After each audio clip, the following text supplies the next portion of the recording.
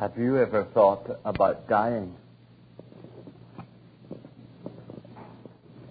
I mean, it used to be popular for uh, people of our generation to say, oh, what a morbid thought. But I think uh, we're different now, aren't we? We really do feel that we ought to be able to face that, whether we're Christians or not.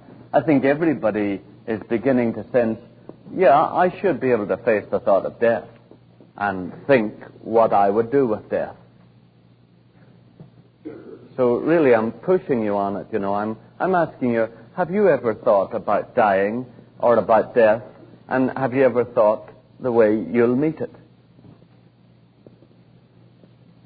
So, some of you will know Dylan Thomas, the English poet, and you remember he was watching his father dying, and he wrote a poem, and oh, it was a raging, rebellious poem. Remember, he said do not go gentle into that good night. Old age should burn and rave at close of day. Rage, rage against the dying of the light. And Thomas's whole poem was that, you know, that everybody should rage against the dying of the light. Uh, Noyes is a psychiatrist from Iowa University, and you may have read maybe two weeks ago in Time magazine that he interviewed different men and women who had almost died in mountain falls or in parachute jumps where the parachute failed. And you remember he said that there seemed to be three stages. Uh, the first stage, the person seemed to rebel against the whole thing and resist it.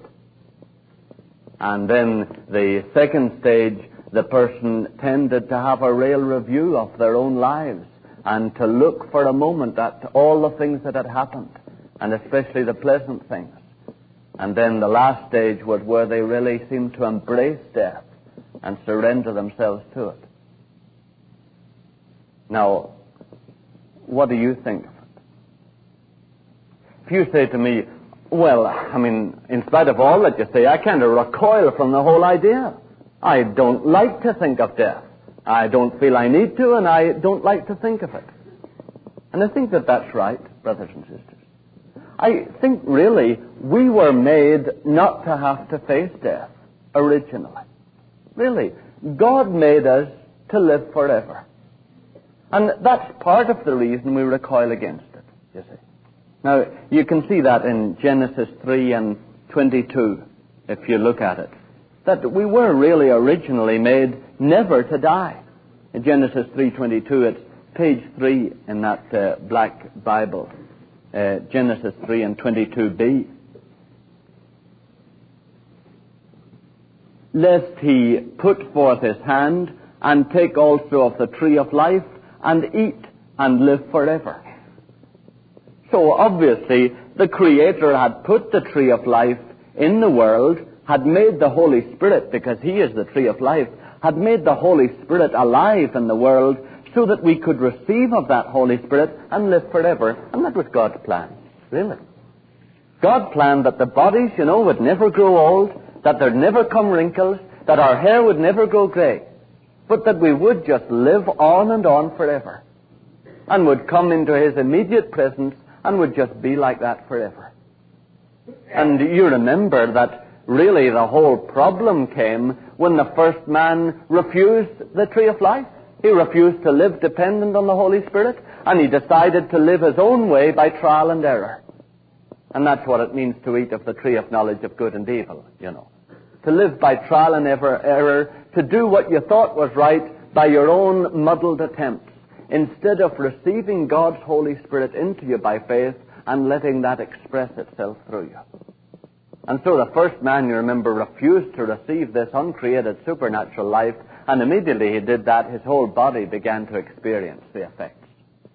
And of course, the mind began to be impaired, and the emotions became unbalanced, and the body itself began to be weakened. And that's really now we, why we have weakened bodies. Uh, at that time, you see, even the body became temporary. The body was made to be permanent, but when the Holy Spirit ceased to flow through it, it began to be temporary also. And you find that, if you like to look at it, in James.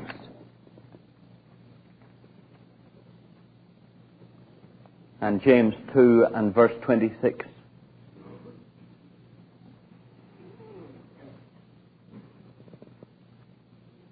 It's about page 1055, Jones. 1055.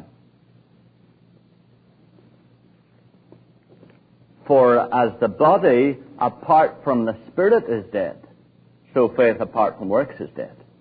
But you see the first statement, as the body apart from the spirit is dead. And so when the Holy Spirit was no longer flowing through us, our bodies became temporal. And they immediately came into a position, you remember, where at the beginning of Old Testament times they seemed to live for about 120 years, and now they live for maybe an average of 70 years, don't they? And even that varies from country to country, because there are places where people only live on an average 45 years.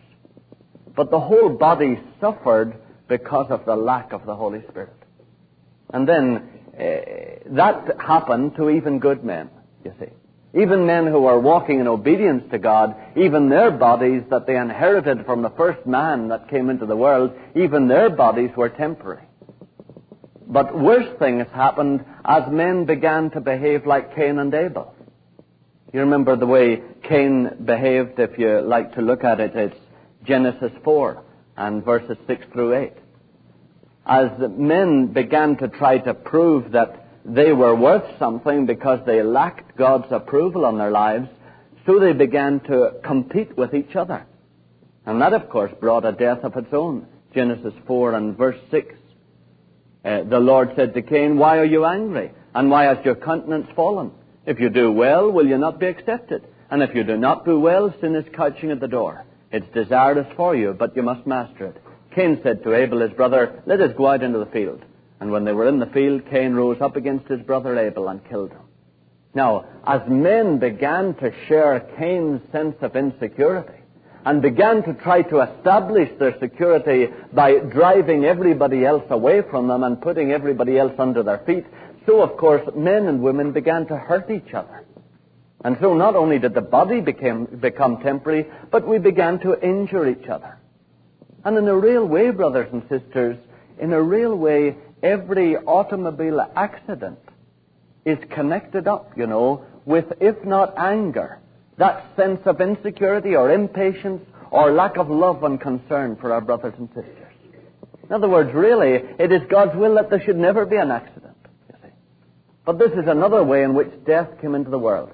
As men and women began to be selfish and angry and irritated with each other like Cain, they began to commit injuries against each other, and that, of course, brought death as well.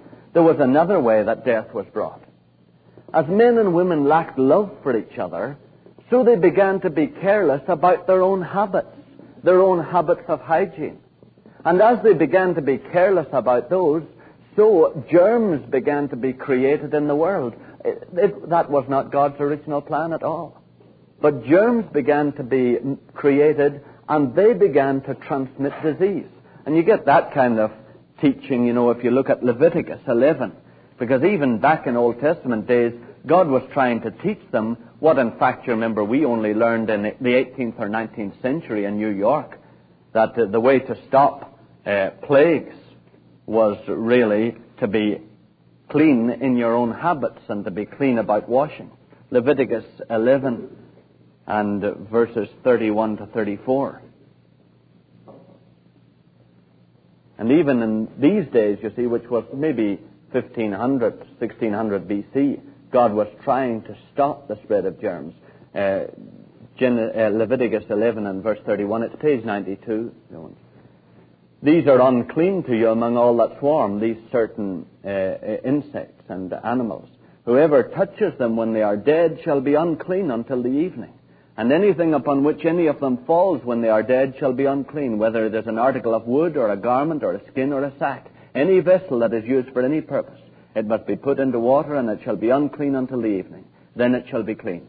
And if any of them falls into any earthen vessel, all that is in it shall be unclean, and you shall break it. and food in it which may be eaten, upon which water may come, shall be unclean. And all drink which may be drunk from every such vessel shall be unclean. Now, of course, the way, the reason God said that was men weren't behaving that way. Men and women were becoming careless about themselves, about their friends, about their neighbors, and so germs and disease began to spread in the world. And sickness came into the world as a direct result of man's lack of love for God and lack of love for his neighbors. Then you know too that men and women began to hate each other yet pretend that they loved each other. And that's how sexual intercourse as we know it apart from Jesus and apart from his spirit of unselfish love. That's how that began to be treated in the world. And that brought its own problems.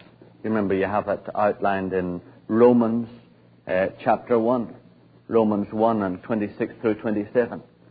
And the whole question of birth defects, you see, did not begin simply with thalidomide and that kind of problem, which you know is another example of man's lack of love and selfishness.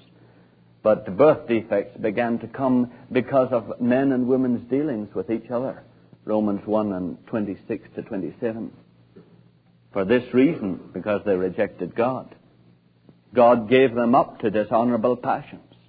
Their women exchanged natural relations for unnatural, and the men likewise gave up natural relations with women and were consumed with passion for one another, men committing shameless acts with men and receiving in their own persons the due penalty for their error. And of course, not only in their own persons, but in the persons of the people that they bore. So the illegitimate child receives some of the sin of the father or mother. The illegitimate child with a sense of insecurity and a feeling that nobody wants them, which they often pass on to other people unless they really deal with God.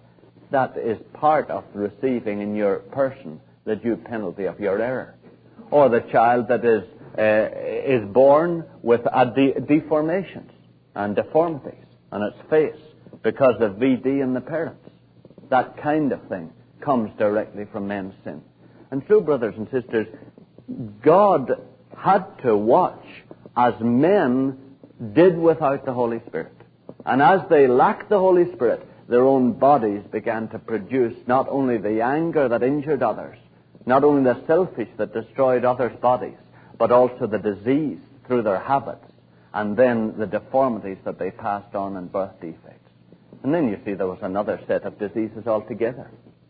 The set of diseases that we call psychosomatic. You know that if you go into any psych ward, most of the people suffering there are suffering from guilt, or they're suffering from the high cost of retaliation people in psych wards are normally suffering either from guilt or from a terrible, burning, deep sense of resentment. And really, all psychosomatic diseases can be traced back to the works that God purposely calls the works of the flesh. That's one of the reasons He calls them the works of the flesh. Not only that they come from preoccupation with your own body, but that they actually produce results in your body that are disease and sickness. And you see those in Galatians 5 and 19 through 21. As men and women lacked the Holy Spirit in their own lives, so they began to produce these feelings and these attitudes in themselves. It's uh, page 1015. And each one of these, you see, produces, oh, either a tension in the muscles that begins to produce diseases, or produces certain secretions in the glands, that begin to produce disease, or it affects the flow of blood, which produces disease. Uh, you can see how close these things are, you see. Uh, if you are embarrassed, you know what happens. You blush. Because obviously the embarrassment can affect the flow of the blood to your face. Or you are nervous when you're standing up in front of a crowd of people and you find that you could drink a gallon of water. Your mouth is all dry because the nervousness and the fear of men affects the secretion of the liquids and the fluids in your mouth. Now you can see that the psychosomatic diseases all come from this fact that these works of the flesh, this resentment, this hatred, this fear, this worry, this nervousness, always affects either the flow of your blood to different parts of your body or the secretions of your glands, or it affects the tension in your muscles. And those are all the things that begin to produce sickness and tension in your body. Now, you can see them there in Galatians 5 and 19. Now, the works of the flesh are plain immorality, impurity, licentiousness, idolatry, sorcery, enmity, strife, jealousy, anger, selfishness, dissension, party spirit, envy, drunkenness, carousing, and the like. And this is really why William Penn explained to that person, you remember, who asked him, hey, You never get angry with anybody. Why not? Just for their sake? And he said, No. I am my own worst enemy when I get angry with anybody. And even he in those days realized that anger destroyed the person who was angry far more effectively than it destroyed the people against whom it was aimed. And so, dear ones, this is part of what we mean, you see, when you read Romans 5 and 17 there, you remember. Romans 5 and 17. It's page 981.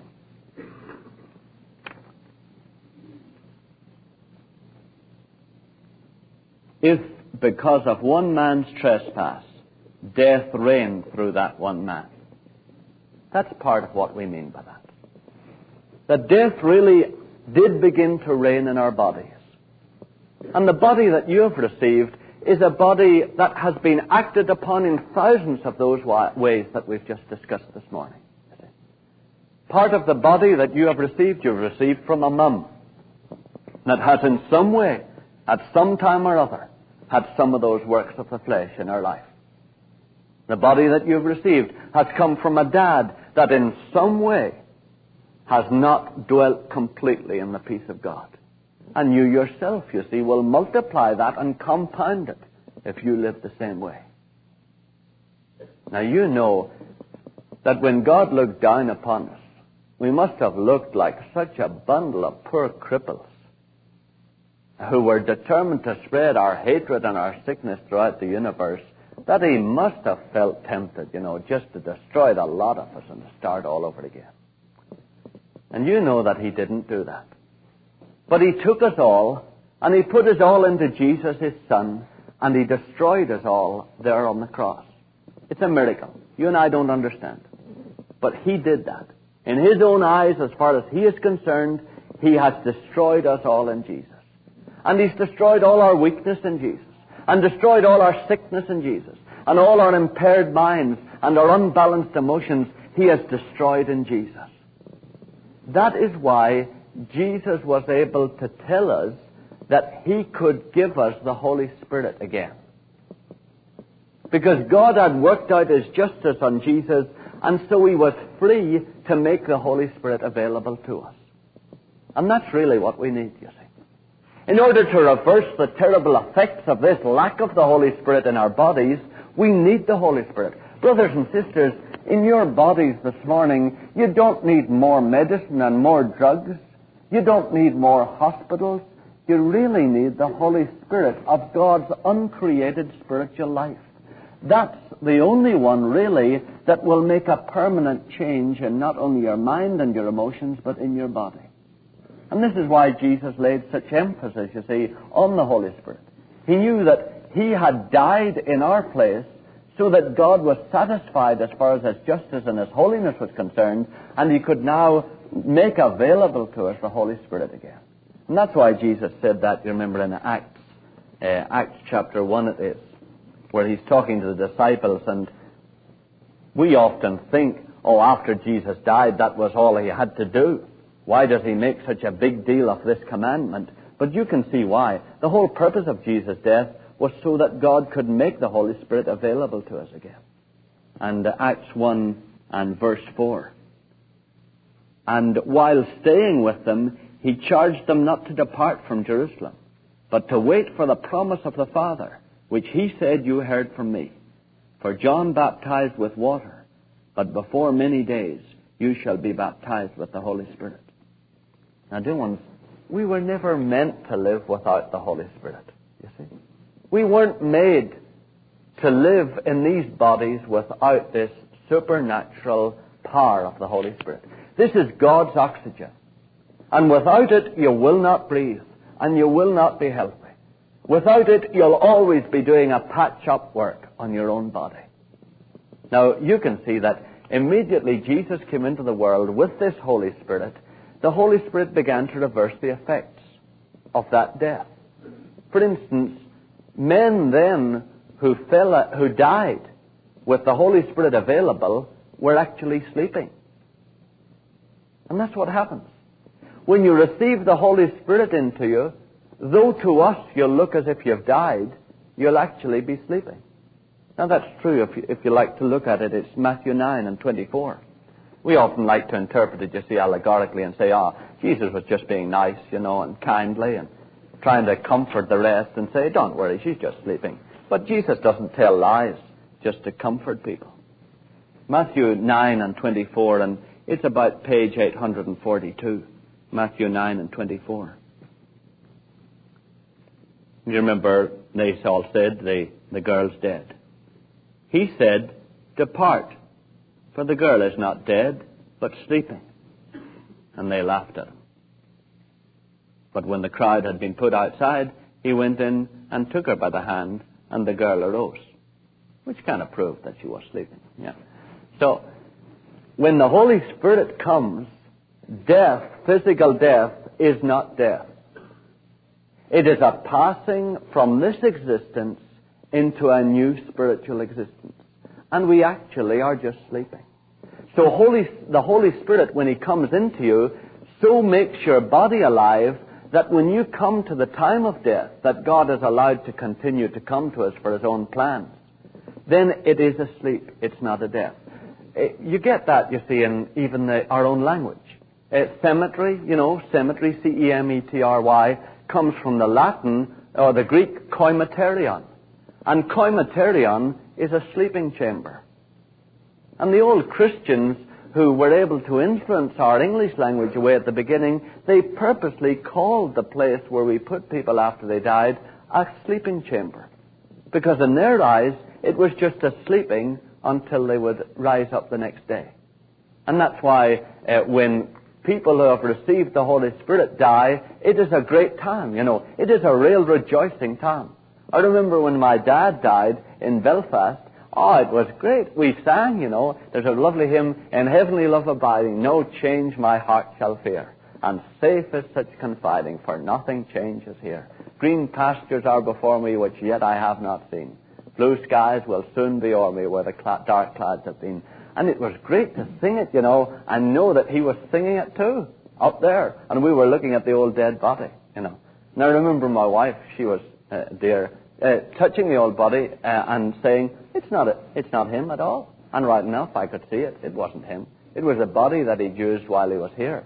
But it obviously wasn't him. I didn't sense at all that he was there. And it's that kind of experience that you have when you begin to receive the Holy Spirit into yourself. Death itself, you see, is transformed into just a sleeping. And it becomes something that you do not fear at all and something that you only accept when it is God's good permissive time to let it come to you. But God will keep you from it until you achieve what He wants you to achieve.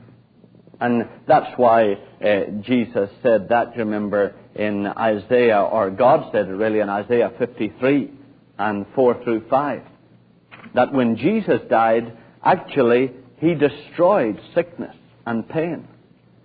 And as far as God is concerned, He only lets those continue within us as far as they will serve His purposes to bring us closer to Himself. Isaiah 53 and 4 through 5. And if you have the RSV, it's page 634, and you will also see the footnotes that give you the translations of the Hebrew. Uh, Isaiah 53 and 4 and 5. Surely he has borne our griefs. And you see the footnote X at the bottom of the page, sicknesses. And the Hebrew word means sicknesses. Surely he has borne our sicknesses and carried our sorrows. And you see the footnote Y as an index. And look at the bottom of the page, our pains. So that verse is, surely he has borne our sicknesses and carried our pains. And so it is as with our sins. if He's carried them, we don't both need to carry them. And we don't need to carry our sicknesses and our pains if Jesus has borne them for us. And that's what happens. When you begin to receive the Holy Spirit into your own life, the Holy Spirit begins to remove your sicknesses and pains and begins to take the health of Jesus' body and impart it to your body. And that's uh, what those verses mean in Romans 8, if you like to look at it, Romans 8 and 10 through 11. Many of us, I think, if we have not really entered into this normal state of those of us who receive the Holy Spirit, and I think we need to see that God expects us to enter into this. Romans 8 and verse 10, but if Christ is in you, although your bodies are dead because of sin, although your bodies may still have some of the symptoms, you see, of disease, your spirits are alive because of righteousness. And then, if the spirit of him who raised Jesus from the dead dwells in you, he who raised Christ Jesus from the dead will give life to your mortal bodies also through his spirit which dwells in you. And that same spirit that raised Jesus from the dead will give life to your body. And brothers and sisters, I really mean that it works today. You know, if you're sitting there and saying, well, do you mean it works sometime in the future, maybe when I die? No, it works today. It is not God's will for us to live in sickness. It is not God's will for us to live in pain and ill health. It is God's will for us to learn how to receive His Spirit into our bodies for real health. And that is the Father's plan. Now, uh, how do you do it? Well, God only allows sickness to continue in you. It's a work of Satan. It's not God's work. He only allows sickness to continue in you as long as he can achieve something through it. So if ever sickness comes upon you, really what you need to do is go to God and ask Him, Lord, do you want me to see something that I haven't seen before, either about myself or about you? And let God show you what that is, and then simply receive God's help by faith.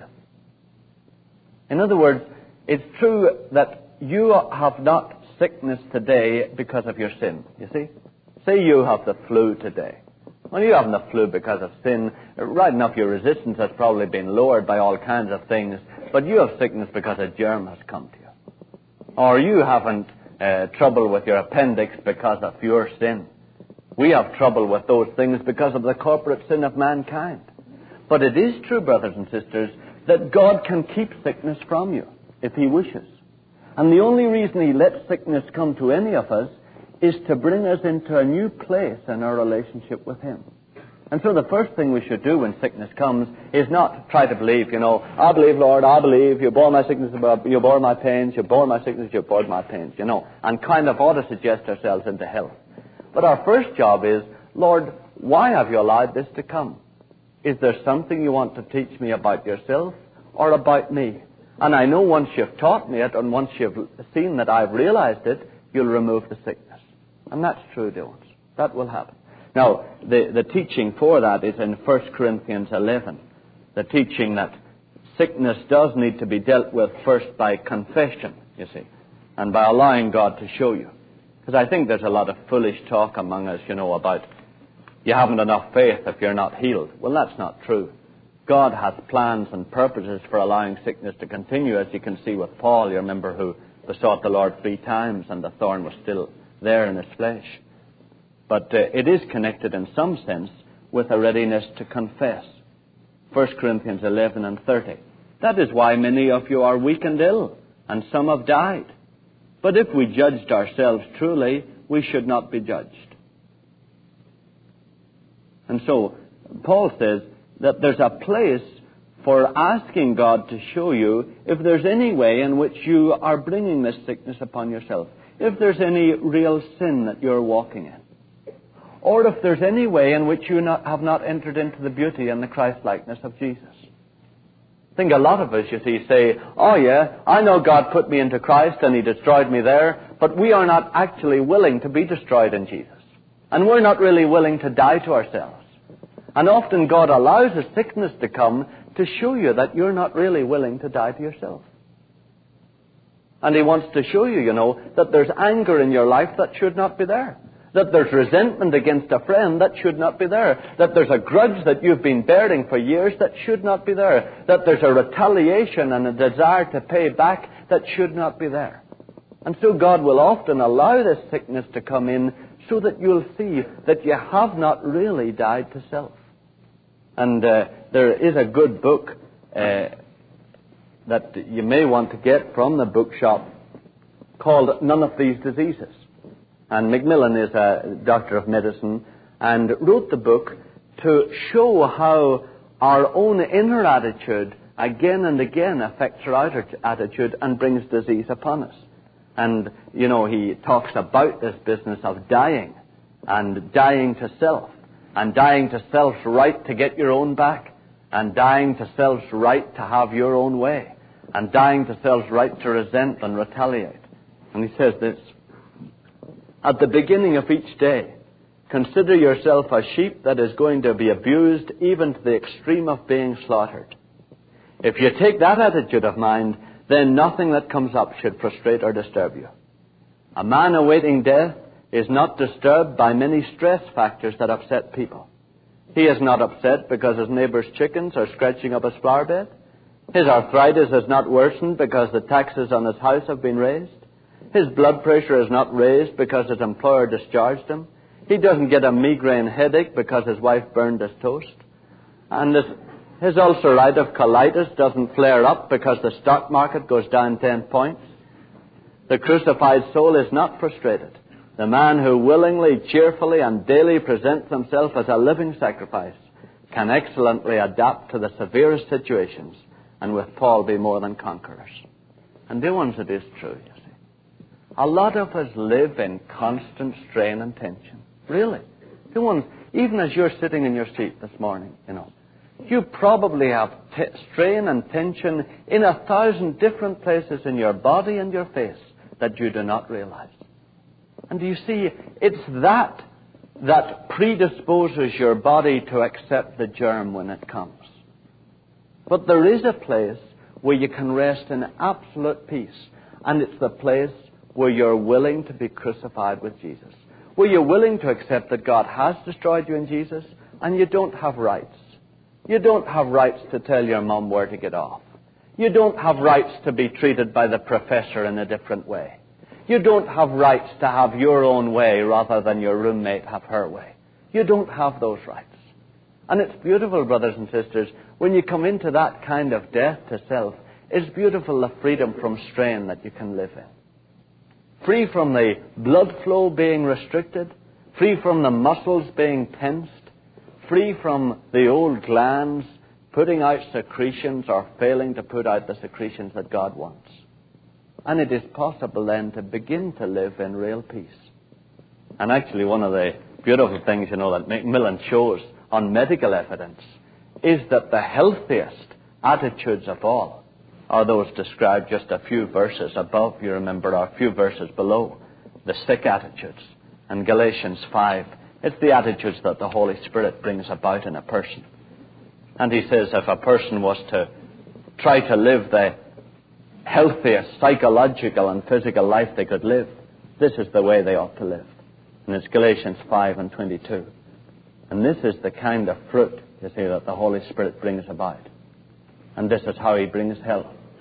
But the fruit of the Spirit is love, joy, peace, patience, kindness, goodness, faithfulness, gentleness, self control.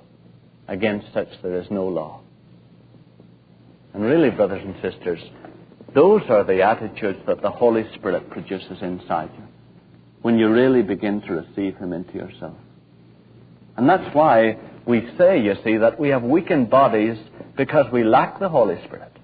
But as soon as we begin to receive the Holy Spirit into us, these bodies begin to be strong. And loved ones, there are a lot of details in teaching on healing that I would urge you maybe to follow out in. The, we have cassettes, maybe about five cassettes in the library that I know I, I preached maybe, uh, there must be three hours of teaching on health and sickness So I do urge you to go and listen to those, you know, rather than just take this morning's brief presentation, because there are many details that have to be filled in. But nevertheless, in spite of the fact, brothers and sisters, it is the Father's will for us to live in health. And it is possible to live in health. And I remember you know, old Simpson, you know, uh, describes it this way, his own experience. Then the body broke away in every sort of way. I had always worked hard, and from the age of 14 I studied and labored and spared no strength. I took charge of a large congregation at the age of 21. I broke down utterly half a dozen times, and at my last, constitution was worn out completely. Many times I feared I should drop dead in my pulpit. I could not ascend any height without a sense of suffocation because of a broken down heart and exhausted nervous system. I heard of the Lord's healing, but I struggled against it. I was afraid of it. I had been taught in theological seminaries that the age of the supernatural was past, and I could not go back from my early training. My head was in my way. But at last, when I was brought to attend the funeral of my dogmatics, the Lord whispered to me the little secret Christ in you. And from that hour I received Him for my body as I had done for my soul. I was made so strong and well that work has been a perfect delight. For years I have spent my summer holiday in the hot city of New York, preaching and working amongst crowds, as I never did before, besides the work of our home and college and an immense mass of library work and much besides. But the Lord did not merely remove my sufferings. It was more than simple healing. He so gave me Himself that I lost the painful consciousness of physical organs. That is the best of the health He gives. I thank the Lord that He keeps me from all morbid physical consciousness and a body that is the object of anxious care and gives a simple life that is a delight and a service for the Master, that is a rest and joy. Maybe that's the secret. Health is received by faith, not by sight. Have you healed me? Ah, I don't feel healed. Have you healed my headache? No, you haven't. Health is not received by sight. It's received by faith. God's health and strength is made perfect in the presence of your own weakness. But, brothers and sisters, it is not God's will that we should live in sickness. And you know, if you don't catch any of the other nuances besides that truth, it would be good just to hold on to that this morning. Because Satan has persuaded so many of us that, well, we're just sick kind of people. We just have three colds every winter, and we need to rest a lot after a hard day's work. And dear ones, you know, Satan just predisposes us to sickness. Loved ones, that's not God's will. God's will is health. You know. So this Christmas, would you let Jesus come into your body for health and strength? Don't just keep them, you know, to the spiritual things. But would you ask him, Lord Jesus, I believe your Holy Spirit is here to bring health to my body. And I want to die old and well. And that is God's will, for us to die well.